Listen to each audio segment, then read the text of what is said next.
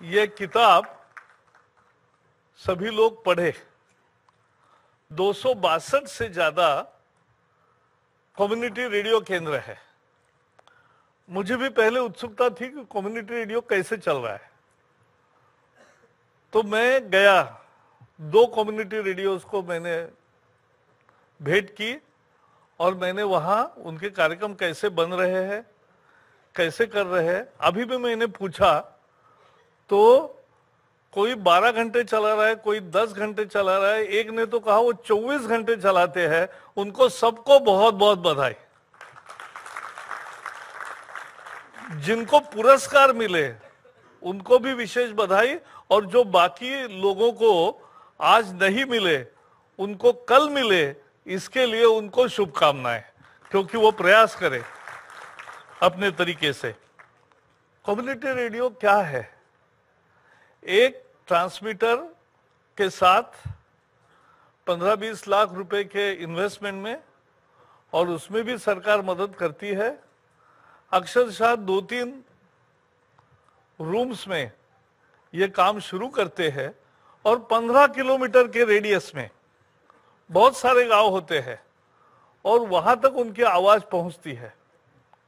Entertainment भी होती है, प्रबोधन भी होता है स्थानीय कलाकारों को प्रोत्साहन मिलता है।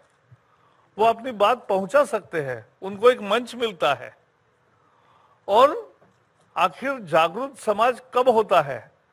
जब वहाँ खेती के बारे में, व्यापार के बारे में, कौशल के बारे में, जब जीवन के बाकी प्रश्नों के बारे में, करियर के बारे में, जहाँ मार्गदर्शन मिलने का और एक केंद्र बन गया तो ये कम्युनिटी रेडियो बहुत ही काम करता है। मुख्यतः अनेक कृषि विज्ञान केंद्रों में ये है और उसके साथ साथ अनेक स्वयंसेवी संस्था ट्रस्ट और ऑर्गेनाइजेशंस भी इसको चलाते हैं। और इसलिए ये एक बहुत अच्छा मीडियम है। मैं तो चाहूँगा कि अभी 260 है, जल्दी ये 500 कम्युनिटी रेडियो हो इसके लिए हम सारा प्रयास करेंगे, क्योंकि आनंद आता है जब लोग इस तरह से इतनी प्रतिभाएँ काम करती है एक दिशा में।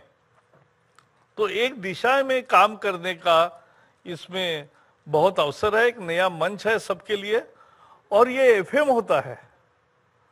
मुझे कभी कभी ईर्षा होती है कि मेरे आकाशवाणी के सभी केंद्र एफएम नहीं है, लेकिन आप सभी एफएम है तो आपका सिग्नल बहुत अच्छी तरीके से 15 किलोमीटर के रेडियस में पहुँचता है, ये बहुत महत्वपूर्ण है।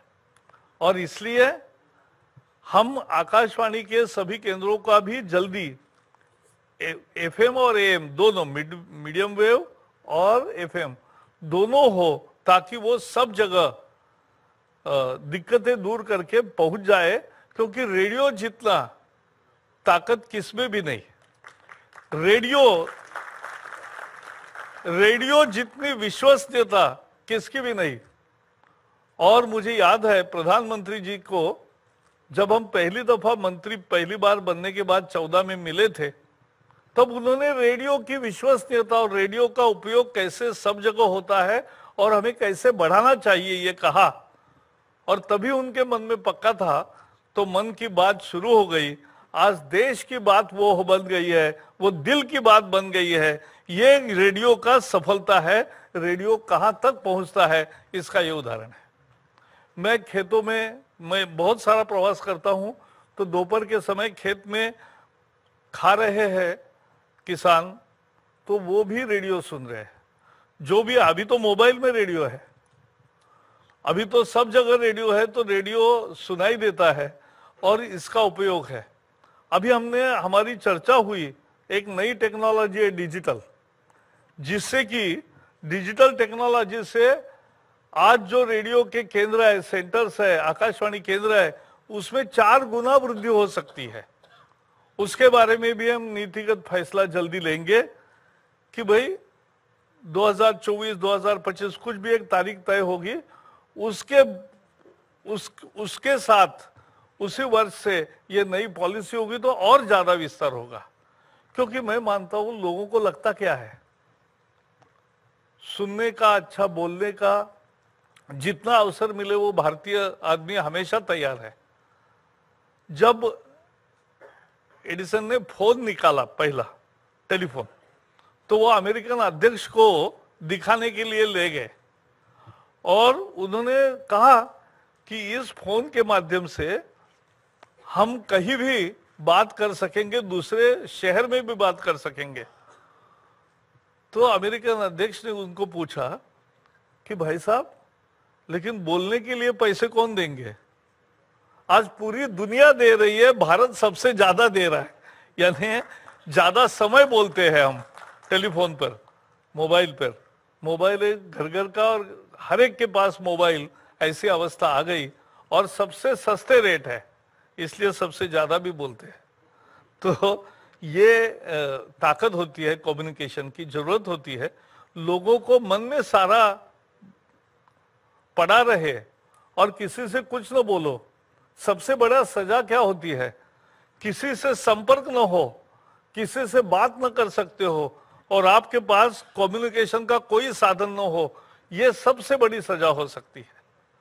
और इसलिए कम्युनिकेशन का एक बहुत महत्वपूर्ण औज़ार कम्युनिटी रेडियो ये आज इनको सबको पुरस्कार दिए।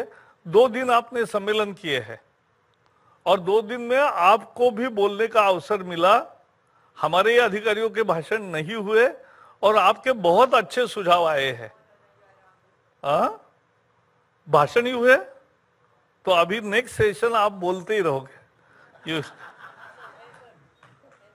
नहीं, क्योंकि मैं हमेशा कहता हूँ, हमारे अधिकारियों को पब्लिकली की भी, कि कोई भी कार्यक्रम करेंगे वर्कशॉप करेंगे तो आधा समय हमारा, आधा समय जो आए हैं उनका, और उनको वो मिलना चाहिए, यह हमारी हमेशा भूमिका रही है। एक तरफा वो संवाद नहीं होता तो संवाद होना चाहिए, और इसलिए, लेकिन मुझे बहुत सारे लोगों की बातचीत जो हुई उसमें जो सुझाव आए वो बहुत अच्छे अच्छे सुझाव आए।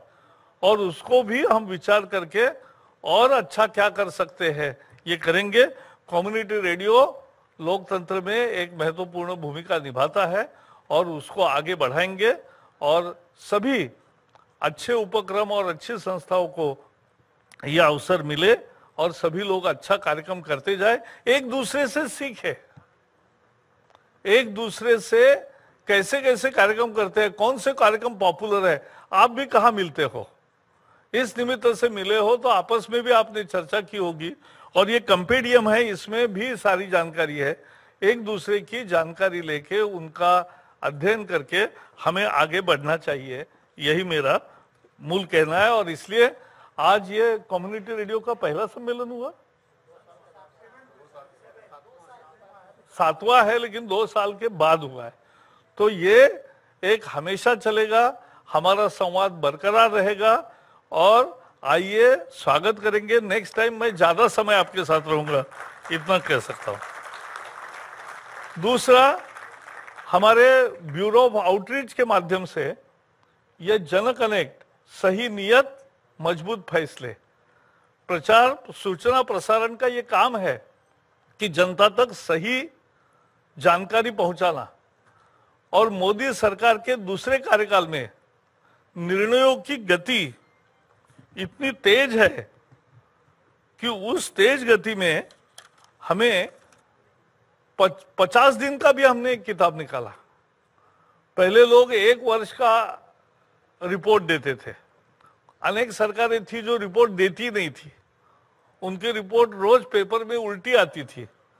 लेकिन वो बदल गया। अब हम सप्ताह, साल भर में नहीं, पहले सौ दिन में दिया था पहली बार, लेकिन इस बार तो पचास दिन में भी दिया, पचहत्तर दिन में दिया, और बताने जैसा भरपूर काम हुआ है। जैसे हमें मालूम है, कश्मीर के जनता को विकास का देश के लोगों जैसा समान अधिकार नहीं मिलता था। वो विकास का सही अधिकार मिले, इसके लिए एक ऐतिहासिक निर्णय 370 के बारे में हुआ और उस 370 के निर्णय के बाद कश्मीर की जिस तरह से पुनर्रचना भी हुई है, और मुझे पूरा विश्वास है कि वहाँ लोग, उनको आरक्षण नहीं मिल रहा था, वो मिलेगा, उनको राइट टू एजुकेशन नहीं मिल रहा था, वो मिलेगा, उनको अनेक सरकारी योजनाएँ जो अच्छी चल रही है और देश भर के गरीबों को और सबको फ़ायदा होता है, वो वहाँ नहीं चल रही थी। उसका लाभ मिलेगा। देश के सभी कानून वहाँ लागू होंगे और इसलिए देश की विकास की गति जैसी है, उससे भी ज़्यादा गति से अब कश्मीर और जम्मू और लद्दाख तीनों प्रांत दो प्रांत हो गए और दोनों बहुत अच्छे तरीके से बढ़ेंगे, ये मुझे पूरा विश्वास है। और इसलिए एक बड़ा निर्णय हुआ। एक क्रांतिकारी बजट आया और बजट में हमने घोषणा की और पूरे देश भर ने स्वीकार की कि फाइव ट्रिलियन डॉलर इकोनॉमी। आज दुनिया की हम ग्यारहवीं अर्थव्यवस्था थे 2014 में। अभी 2019 में हमारा पांचवा नंबर है। हम तीसरे नंबर पर जाने की मंशा रखते हैं। Low aim is crime high aim रखना चाहिए और उसके लिए कैसे राह तैयार कर रहे ये भी हमने देखा। सौ लाख करोड़ का सड़क, बिजली, पानी, पोर्ट, एयरपोर्ट, जलमार्ग, सभी तरीके से आवाजाही के साधन, मेडिकल मेडिकल बिल हो या 35 बिल पास हुए, पिछले अनेक सालों में राज्यसभा ये स्पीड ब्रेकर समझा जाता था इस बार राज्यसभा भी हाईवे बन गया विदाउट एनी स्पीड ब्रेकर। ये हो गया। और इसलिए ये इतने बिल पास हुए। विधायिका का नाम ही लेजिस्लेचर नाम है। लेजिस्लेचर माने हमारा नाम भी एक तरह से विधायक है। Our job is to legislate. तो वो लेजिस्लेशन हमने किए और इसके लिए जनता के तरक्की के और दरवाजे खुले। मोटर व्हीकल एक्ट में भी बदलाव हुआ। बहुत सारे बदलाव इसी माध्यम से आए। ट्रिपल तलाक, एक मुस्लिम महिलाओं को न्याय देने वाला बिल, वो भी आ गया। और उसके साथ साथ किसान को नब्बे हज़ार करोड़ रुपए की लागत से हर साल छह हज़ार रुपए मदद के रूप में, और ये कंटिन्यूस आने वाले सालों में मिलता रहेगा, ये एक बहुत बड़ा किसान के लिए महत्वपूर्ण निर्णय है। उसको बाकी सारी योजनाएँ लागू हो ही गई है। अब उसके लिए पेंशन का भी दरवाज़ा खुला है। 40 करोड़ असंगठित मजदूर है। उनके लिए भी पेंशन शुरू हो रहा है और 40 करोड़ मजदूरों को रोज़गार का जो ये होना चाहिए कि उसकी नियुक्ति का पत्र भी नहीं मिलता था, वो भी मिलेगा और उसको न्यूनतम वेतन भी मिलेगा। ये वेज कोड का बिल भी पास हो गया है। उसके साथ साथ जो व्यापारी है, छोटे छह सात करोड़ व्यापारी ऐसे हैं उनको भी पेंशन की सुविधा दी गई है। हमारी देश की सुरक्षा बलों पर हमें नाज है, गर्व है। उनके लिए बहुत सारे निर्णय, जैसे ओआरओपी का निर्णय पहले ही किया, जो 40 साल से पेंडिंग था।